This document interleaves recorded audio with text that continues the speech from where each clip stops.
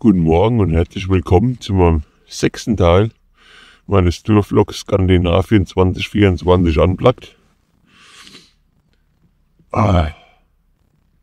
Wir waren gestern ja noch einmal auf Eggeroi, dann auf der Vatsoja, Vatsoja Kulturpark auf dieser Halbinsel.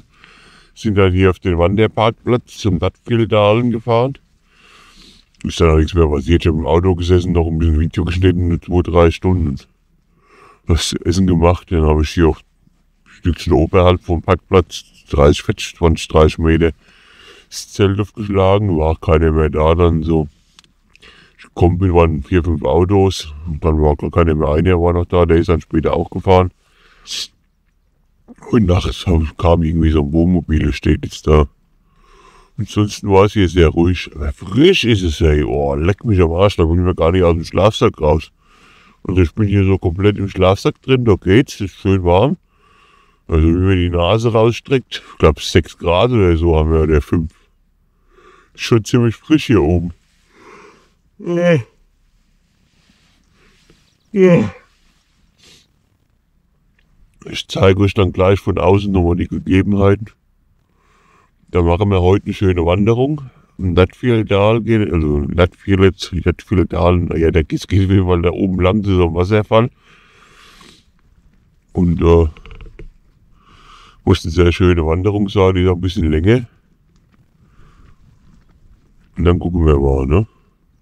Gucken wir mal. Aber ich tue jetzt hier erst einmal eine Chille machen und verziehe mich nochmal eine Viertelhalbe Stunde in den Schlafsack rein. Dann geht's los, das Geschehen. Also bleibt dran, wenn es euch interessiert. Oder guckt äh, andere Teile, wie ihr wollt. Also bis gleich. Gut. So, ich zeige euch mal die Gegebenheiten. Es ist ein bisschen windig, das macht es so, so kühl ein bisschen. Das ist so kalt. Ich zeige euch mal die örtlichen Gegebenheiten. Dann baue ich das Zelt ab, machen wir erstmal was zu essen und dann äh, denke ich, werde ich hier wirklich wirklich mal lostigern auf die Tour. Ich nehme euch natürlich mit. Wenn gucken wir erstmal, wie es hier aussieht. Ja, hier ist alles ein See. Da hinten steht das Auto. Ich will am besten mal auf den Rundblick. Wie im besten Sinn. Gut.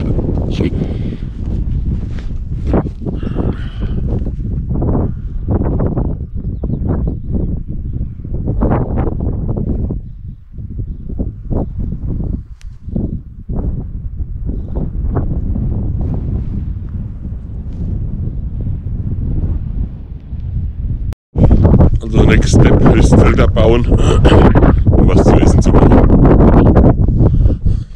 Gut, so Freunde. Zelt ist abgebaut, alles wieder im Auto verstaut. Ich tue mich jetzt erstmal kämmen. Und dann mache ich mir was zu essen.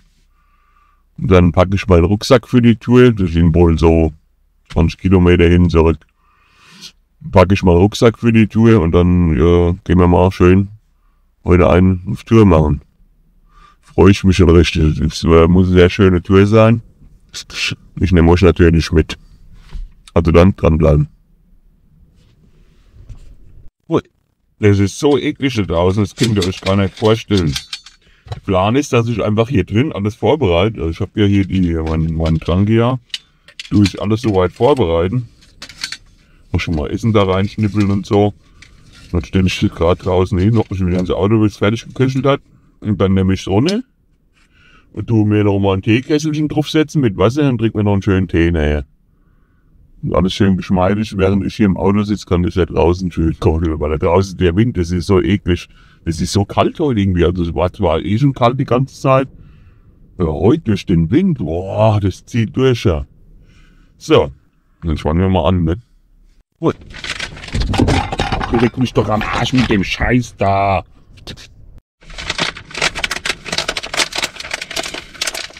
Ja, diesen Fertig-Express-Reis, der ist ganz praktisch. Alles Kulinarische, das ist so eine Tour. Gibt's natürlich nicht, das zumindest nicht im Auto nicht zu essen, das ist klar. Ne? Aber, Hauptsache man hat was im Magen.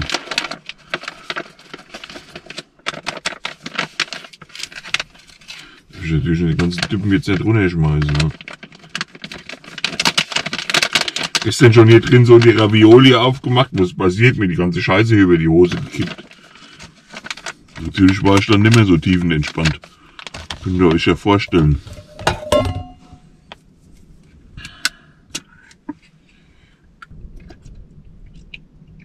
Da komm schon raus. Ey. Oh, hab ich schon wieder.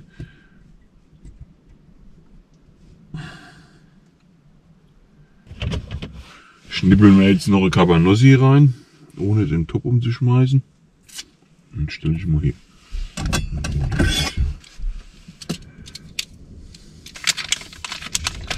Wenn ich jetzt irgendwo auf dem Campingplatz bin, dann geht es ein bisschen einfacher im Kochen. Da kann ich vom Zelt aus, ist das auch windgeschützt. Aber hier so jetzt ist das Handling ein bisschen schwierig. Na, seht ihr ja ein.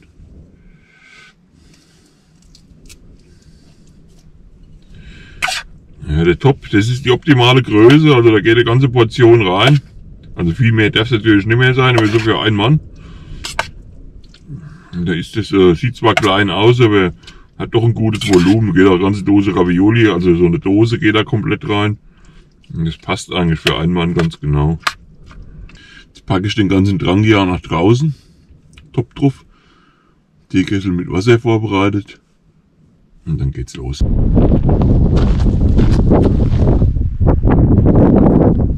eklig. So, ich habe den gerade hier so hinter den Stein ein bisschen, also jetzt steht er aus dem Wind drin. Ich meine, der Trangia ist eh schon die eine Seite windgeschützt. Da steht er noch ein bisschen mehr aus dem Wind. Das müsste eigentlich funktionieren. Oder hätte mich mal was anderes einfallen lassen. Dem Klohäuschen kochen, keine Ahnung. Na, schauen wir mal. Jetzt tue ich noch meinen äh, Teekessel mit Wasser füllen. Das heißt, wenn das Essen fertig ist, tue ich den runter, den Teekessel drauf. Kann ich hier einen schönen Tee kochen. Also, man muss sich nur zu helfen wissen.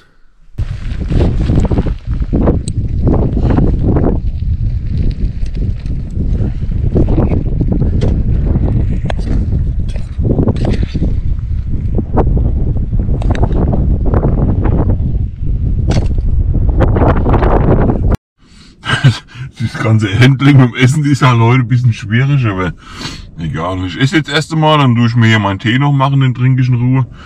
Und dann bereiten wir uns mal auf die Tour vor und dann geht's los. Gibt natürlich einen Spaß bei dem Wind. Na gut. Wir wollen ja Abenteuer, ne?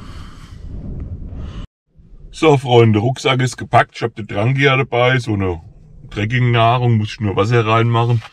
Zur Not äh, zwei Flaschen Wasser. Ja, es gibt natürlich äh, einen Spaß bei dem Wind. Ne? Aber gut, ist halt so wie es ist. Es ist wie es ist. Ja, ich ziehe mir jetzt doch gleich mal eine Jacke an, gehe ich vielleicht noch mal kacken. Da vorne ist nämlich ein schönes Kackhäuschen. Und dann, äh, und dann äh, sind wir auf der Tour. Natürlich weiß ich nicht, ob ich mit meinem Gequatsche euch da größer belästigen kann bei dem Wind, weil durch die Kamera versteht man das dann eh kaum. Ich muss mal gucken, ne? Aber dabei sein ist alles. Und die ganzen Aufnahmen von der Landschaft und so, die sind ja auch viel wert. Mehr als mein Geschwätz sowieso. Ja. Also dann, bis gleich auf der Piste.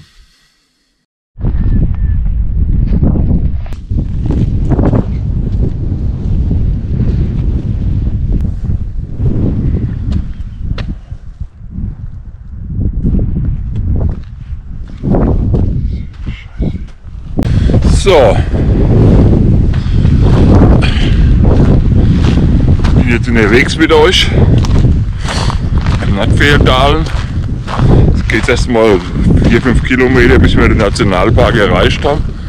Und dann sitzt da mal so 5 Kilometer ungefähr zu so einem Wasserfall, da läuft man so eine Schlucht entlang. Ich denke mal, das wird eigentlich äh, recht schön. Jetzt sind wir erstmal unterwegs. Ich, also ich hoffe, ihr versteht mich, wenn es ein bisschen windiger wird. Das ist dann halt blöd. Aber gut, ist halt so wie es ist. Ich habe mich dick eingepackt, weil so kalt gibt es nicht nur die falsche Kleidung. Das ist halt durch diesen Wind, also sowieso nur 6 Grad. Durch diesen Wind, also der ist wirklich ganz schön stramm heute. Da ist das eisekalt noch. So phasenweise. Jetzt laufen wir erstmal eine Weile. Ich lasse mal ein paar Bilder sprechen und melde mich dann wieder. Also dranbleiben.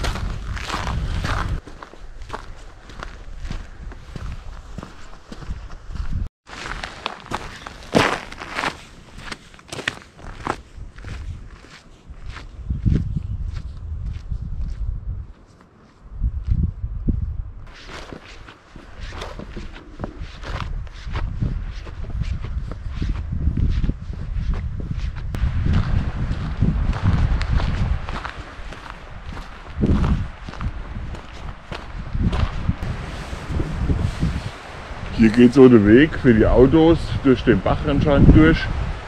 Na gut, dahin geht der Weg ja weiter. Gut, wenn man so ein bisschen größeren Allrad hat, dann geht es vielleicht. Ich würde jetzt mal davon absehen mit meinem Tiguan. Bleibe ich mit dem Bach stehen auf einmal. Das wäre das wär egal. Wir gehen hier über die Brücke.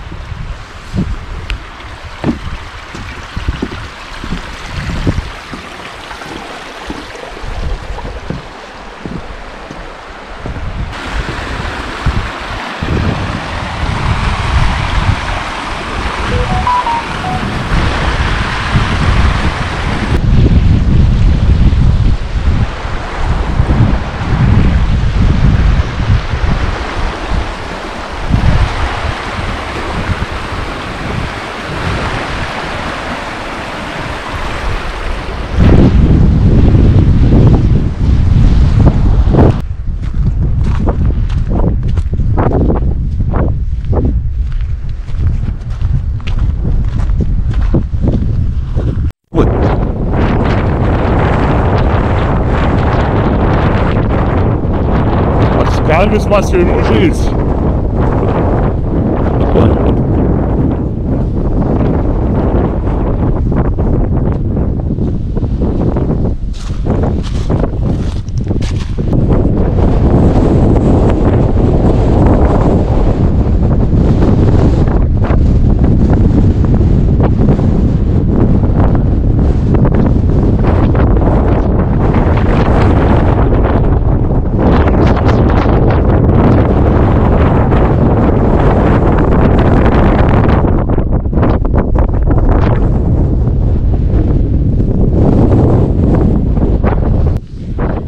Hier ist jetzt eine Gabelung, der, der, das Schild sagt Nationalpark da runter. Eigentlich müsste da im Schild da unten so ein Schilder kommen am Berg. Der müsste eigentlich eh geradeaus sein. Ich bin jetzt rüber geradeaus hoch. Dann hat man eben besser einen Überblick und müsste dann zurücklaufen, wenn es dann doch nichts ist. Aber so, da hinten ist dieser Sendemast in der Nähe vom Parkplatz. Den kann man sich gut als Orientierung ziehen.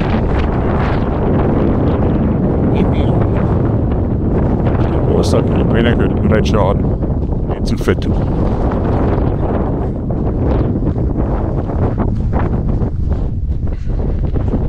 Mal das Panorama an, ist so geil.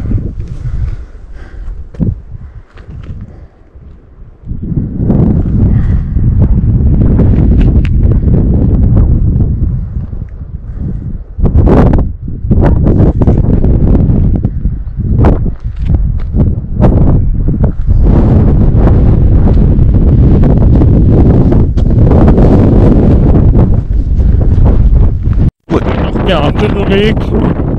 Oh, ich zeig's gleich mal am Schlucht da hinten ist mal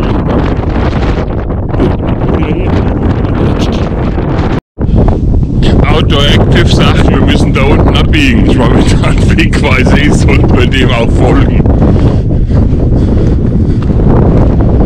Ah ja, extra Kilometer, ne?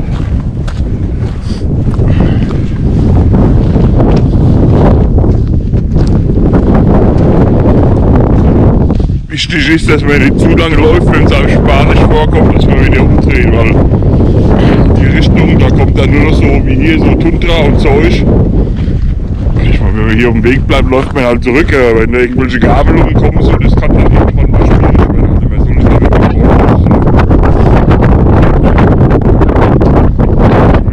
Karte oder irgendwas dabei haben, dass man das auch wieder zurücklotsen kann.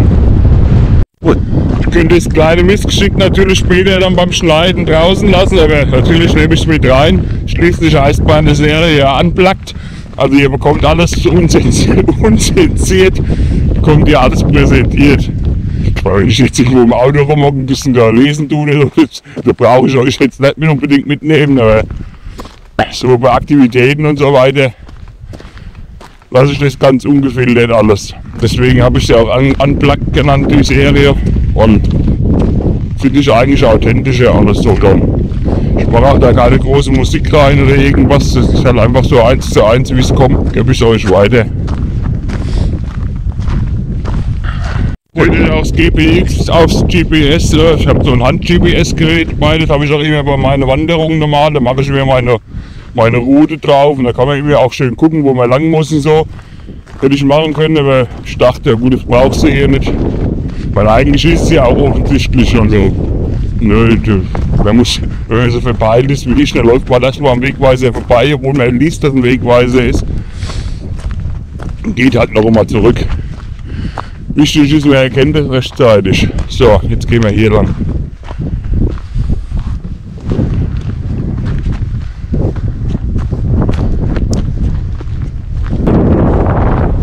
Ich frage mich sowieso, dass ich bis jetzt noch meine ganze Touren und Wanderungen immer wieder gefunden habe. Mit dem GPS halt an. Weil ich bin jetzt so eine Orientierungsbegeisterte.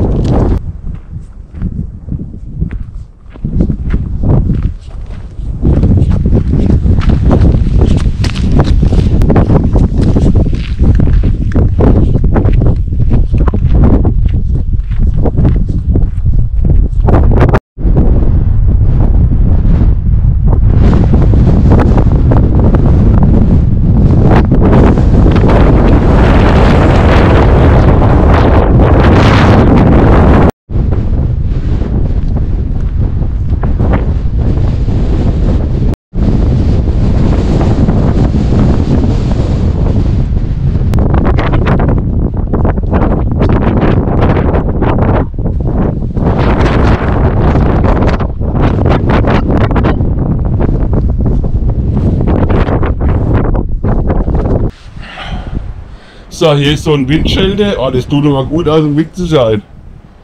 Dann ist auch hier Holz und Werkzeug. Da hinter mir ist Brennholz.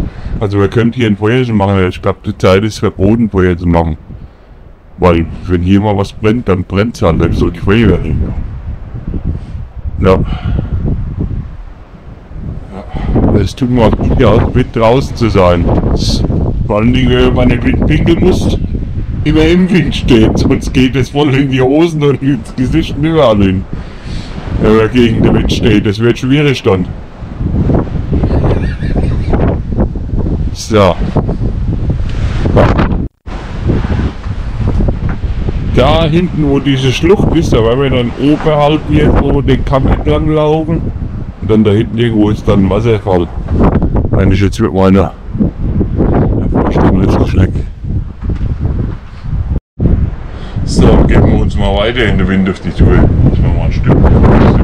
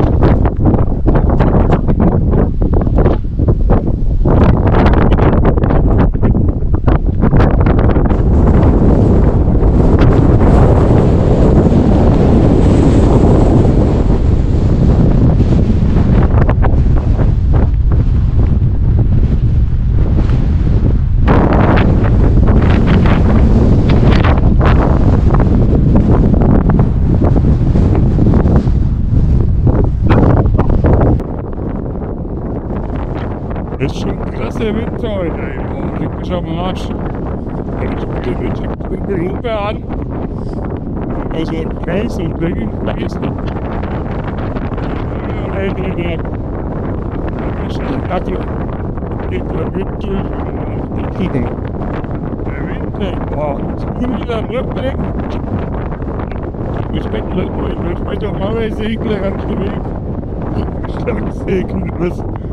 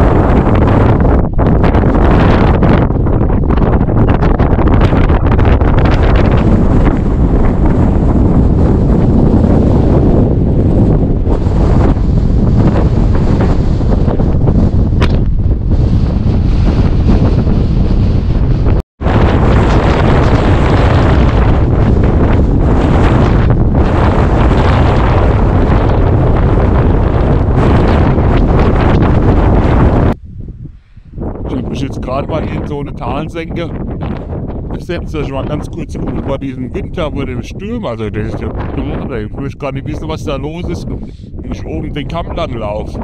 Jetzt ja mal runter, ich habe 150 Kilo. Dann musst du als mit diesem strammen Gegenwind ankämpfen. Ich meine, daheim, daheim will ich mit gut, dann, dann Segler. ja, nicht. Ja, also jetzt sind wir da. Die Rauber wird immer besser. Kommt mit.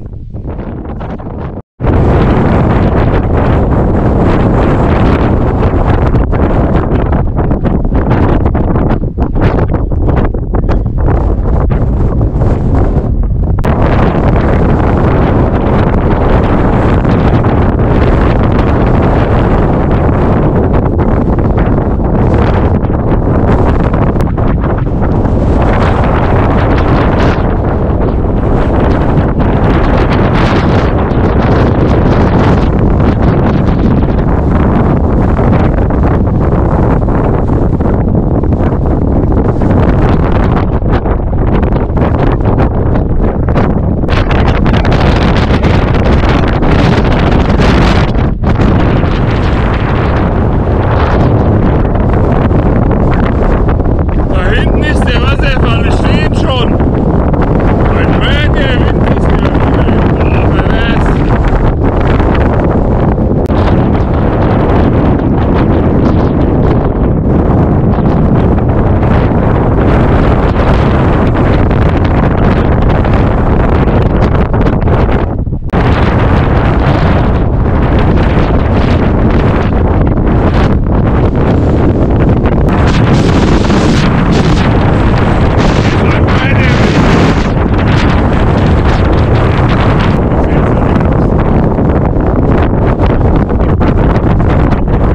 Ganz da hinten, da ist auch unser Senderast, da müssen wir wieder hinlaufen dann. Also so ein Stückchen unterhalb. Ja, was eine Packweise, das können wir uns gar nicht vorstellen. Wenn wir heimzu soll ich nur reden. Da geht's vorwärts.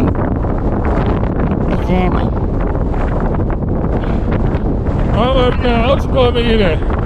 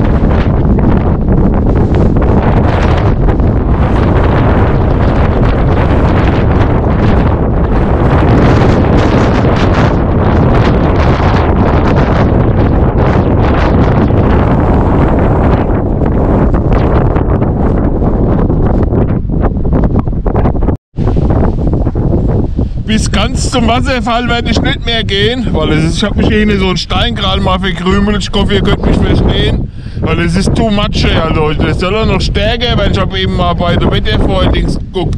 Also ich muss hier langsam raus aus dem Sturm. Das wird- ein ausgewachsener Sturm. Ich tue jetzt hier mit dem Camcorder noch einmal filmen, haben wir ja geile Aufnahmen. Und dann geht's zurück. Man, zurück geht's relativ schnell, aber ich habe keinen Rückenwind dann. Ne? Ich werde aber auch dann auf dem Rückweg nicht mehr großartig filmen. Erst dann wieder vielleicht, wenn wir an dem Shelter da unten sind, wo dieses Holz war und so. Weil äh, gut, das habt ihr eh jetzt schon alles gesehen. Da brauche ich heute nicht noch einmal filmen. Äh, ich will jetzt im Camcorder noch einmal versuchen, ein paar gute Aufnahmen zu machen und ein Stückchen zurück noch. Und dann melde ich mich erst wieder am Shelter oder überhaupt mit der Kamera dann. Ich hoffe, ihr habt es genossen. Also ich habe es auch genossen. Geiler Scheiß, kann ich euch sagen. Aber so eine geile Kulisse ist halt scheiße mit dem Wind. Ne? Da hätte man jetzt ein bisschen näher an die Kante gekönnt. Aber ich will da auch nichts riskieren. Ne? Also, weil mich hat Ballon geweht da hinten. Ihr könnt euch das gar nicht vorstellen, wie windig das ist. Also dann, bis später.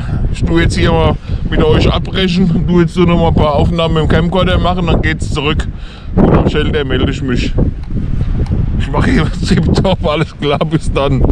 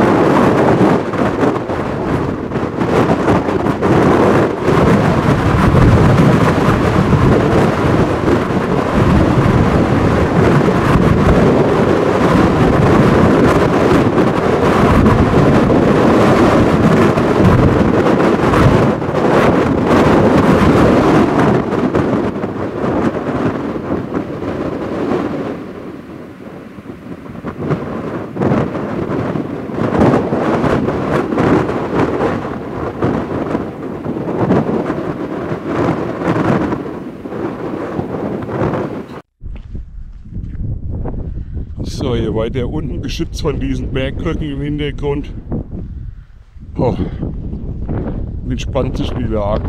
Und die war so gut atmen. Ich bin schmerz gleich weg. Das war sehr hardcore. Also ich hätte gar nicht gewusst, dass ich weiter von der Rücken gefällt hatte. Und kann ich das gar nicht vorstellen. Ich hätte mich da musste mich da richtig gegen den Wind stellen. Bist du kaum noch vorwärts gekommen. Keine Ahnung, Windstärke 10 oder 12 oder 20 oder keine Ahnung, was das war. Ja, dann sind wir auf dem Weg. Jetzt hat man die Liebe ein bisschen Schubboot hinten hat.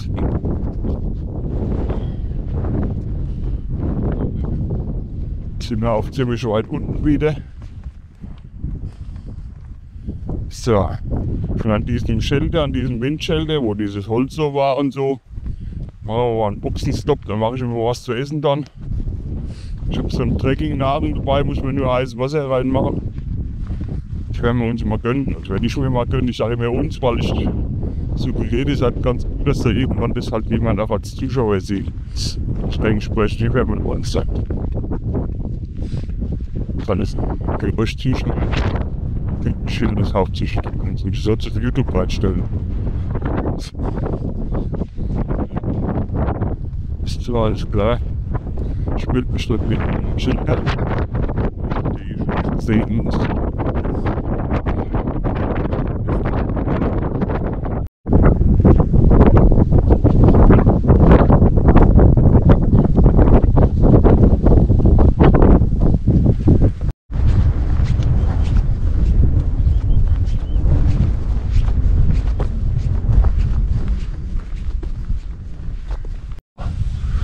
sind wir hier in dem Windschelter. Der Wind hat natürlich relativ nachgelassen, weil wie ich da oben war, kam der von dort. Und wie wir hingelaufen sind, kam er von da. Anscheinend hat er da so hinten rum gedreht.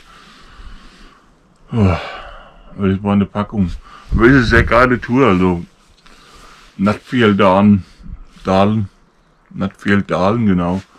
Also sollte der eine oder die andere mal hier sein. Ich würde die Tour machen, sind halt 20 Kilometer, also da muss man schon äh, Rucksäcke mitnehmen und ein bisschen Wasser und was zu, äh, vielleicht zum Essen oder so. Es ist ja machbar, ohne dass man jetzt da groß äh, Wanderer sein muss. Ein bisschen fit muss man schon sein, weil das sieht man ja, man geht hier auch hoch und so. Aber ansonsten geile Tour. Nur jetzt, ihr habt ja selber gesehen, diesen Wind. Also ich wäre gern noch bis zum Wasserfall hin, aber ich hat sie bald weggeweht. Das hat keinen Sinn mehr gemacht. Und deswegen habe ich das dann abgebrochen. Und die meiste haben wir ja eigentlich, hab ich, kann ich euch ja zeigen. Ja. Sind wir hier? Ja. Na gut. Dann gehen wir noch die, steht noch die paar Meter am Auto. Und am Auto sehen wir uns dann. Und der Plan ist dann nach Vado weiterzufahren. Das ist auch so eine Insel. Die ist durch so einen kleinen Tunnel verbunden. Und da gibt's wohl einen Wanderparkplatz. Ich meine, da kann ich nirgendwo zelten, dass es so eine kleine Insel ist.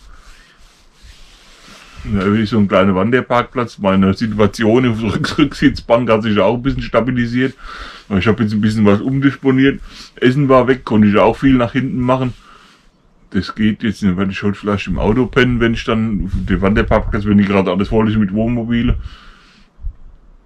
Und dann geht's dann dort weiter. So ist der Plan. Aber jetzt gehen wir erstmal zum Auto zurück und dann melde ich mich dann nochmal bei euch. Also, wir schon dranbleiben.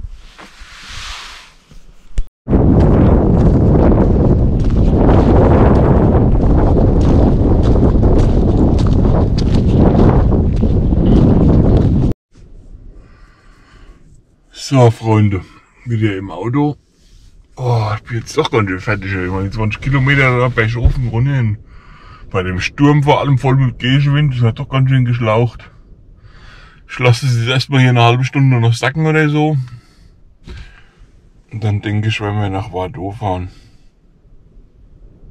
Vado, Vado. Und dann dort habe ich aber nicht so eine Gewaltbahn. Ich habe jetzt zwei Tage nur am Wandern gewesen. Ich meine, Da gucke ich mir auch Sachen an. Habe ich was geplant, aber jetzt nicht so die großen Touren. Dann lieber so links und rechts immer ein bisschen. Dann muss ich ja langsam mal Richtung äh, Westen ziehen. Ich muss irgendwann auch mal wieder nach unten fahren. Ne? Ich habe jetzt nicht irgendwie Monate frei oder so. Das sind ja nur fünf Wochen. Dann will ich eigentlich äh, viereinhalb, also spätestens Mitte der letzten Woche zu Hause sein. Ich habe jetzt fünf Tage hoch gebraucht. Und durch Norwegen fährst du mit 60, 70. Da brauchst du dann sechs Tage. Naja, eine Woche rum, bis ich da bin, zwei Wochen, dann die Rückweg, wenn ich durchfahren würde, drei Wochen. Ja. Also morgen nochmal war da und dann werden wir mal langsam uns westwärts bewegen, mit größeren Schritten. Jetzt habe ich hier die Ecke auch gut abgegrast. Ja.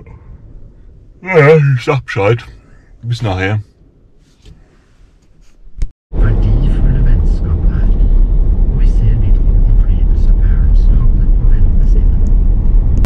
So, wir sind zurück auf der Piste.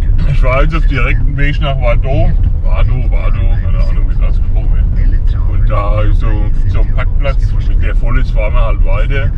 Wenn nicht, penne ich da dann äh, auf dem Parkplatz gerade im Auto. Und ich glaube nicht, dass ich da irgendwas Selten dabei. Jetzt gibt es keinen Bock, haben schon um 5, ich mir tatsächlich 6 ab 7. Ja, mal gucken, ich fahre erstmal dahin auf den Parkplatz und dann sehen wir weiter. Wenn er voll ist, dann muss ich mir an was einfallen lassen. Dann werde ich auf jeden Fall, jetzt müssen wir langsam am Westplatz kommen. Dem, Also dann dranbleiben.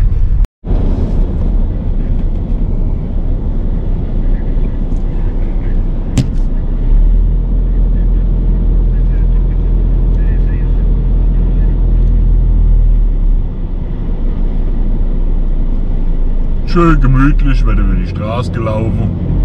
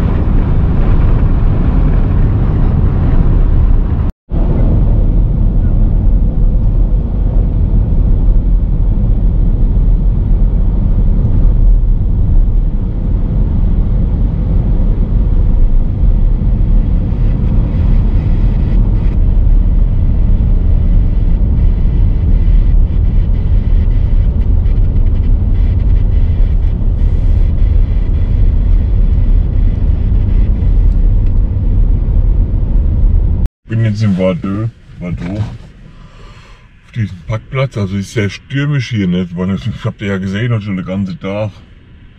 Kann mir vorstellen, das wird ein bisschen ungemütlich hier. Da sind auch hier sehr viele Wohnmobile. Irgendwie durch diesen Windchill kühlt das Auto auch schnell aus. Ne? Gucken, was ich mache. Mit Zelten kann ich bei dem Wind vergessen, der hebt mich ab. Na. Wie dem auch sei, ich schließe jetzt mal den äh, Vlogteil Nummer 1, 2, 3, 4, 5, 6, ich weiß es gar nicht. Auf jeden Fall diesen Vlogteil. Hm, Ich hoffe, es hat euch gefallen. Ich hoffe, ihr seid beim nächsten Mal auch wieder dabei. Relevante Links wie immer unten in der Videobeschreibung.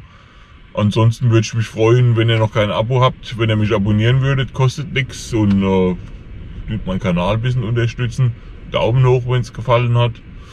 Kommentare bin ich sowieso immer zu haben, ob jetzt Kritik oder, oder Gutsagung oder keine Ahnung. Wenn ihr halt was loswerden wollt, könnt ihr gerne machen. Ich beantworte auch jeden Kommentar immer.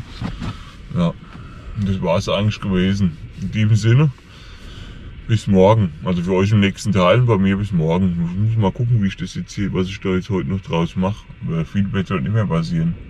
Ich gebe euch gleich nochmal die stürmische See mit. Und dann äh, bis dahin bleibt ihr gesund und genau, bis zum nächsten Mal. Ciao.